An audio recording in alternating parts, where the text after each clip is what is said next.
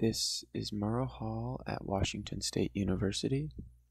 It was built in 1899 as Science Hall with laboratories for botany and veterinary science. At the time, the young campus was so short on classroom space that the president held classes in his office. The building's rounded classrooms on the east side were designed to improve the lighting for classes using microscopes. Today, Murrow Hall is one of three buildings in the College of Communication complex. It houses classrooms and faculty offices, along with student media organizations and Northwest Public Radio.